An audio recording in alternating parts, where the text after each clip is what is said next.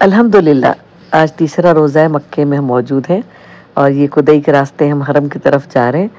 तो रास्ते में आप ये देख रहे हैं कि इस वक्त ज़ायरीन को जो यहाँ से गुज़र रहे हैं रोज़ेदारों के लिए, पानी का तमाम और तमाम चीज़ों का ये बांटना शुरू हो चुके हैं यहाँ पर। रास्ते में जो जो ज़ायरीन जा रहे हैं, उनको यहाँ पे तकसीम करने के लिए खड़े हुए ये देख रहे हैं, आप ठंडी पानी की बोतलें।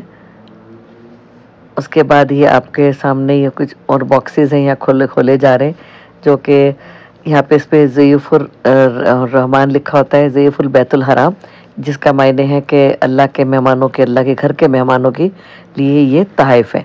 तहफ़ है, छोटे से इसमें एक बॉक्स है, जिसमें इफ्तारी का सामान मौजूद है, ताकि यहाँ से ज़ायरीन जो आ रहे हैं, जो रोज़ेदार गुजर रहे हैं, उन सबको ये तहफ़ दिए जा रहे हैं। ये मुसलसल पूरे रास्ते में कुछ ना कुछ बांटा जा रहा है, यहाँ पे ये लेबन बांटा जा रहा है, लेबन एक तरह की यहाँ की दही के लस्सी होती है। और ये यहाँ पे खजूरें बांटी जा रही हैं। ये पूरे रास्ते में आप देख रहे हैं। अब हम पहुँच चुके हैं शारा मिसियाल पे। यहाँ पर ये रास्ता कबूतर चौक की तरफ़ जाता है। बड़ा मशहूर रास्ता है ये। जो ये लोग यहाँ आते हैं, उन सबको यहाँ मालूम होगा इसका रास्ते का। यहाँ पर इन्होंने कुछ इंतज़ाम किया है कि ये पार्टीशन लगा के, ताकि रोज़ेदार बीच सहन में नहीं, थोड़ा साइड पे हट के बैठ के अपना रोज़ा खोलें, अपने दस्तखान लगाएँ, अपना एहतमाम करें। तो ये देख रहे होंगे, आप फैमिलीज़ बैठी हैं, ख़वातीन हैं। ख़वातीन के साथ और मर्द हजरात भी हैं।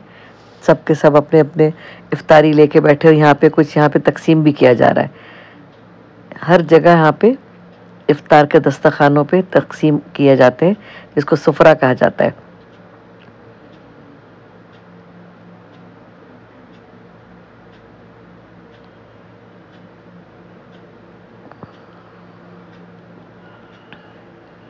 रोज़े का वक्त बिल्कुल करीब आ चुका है।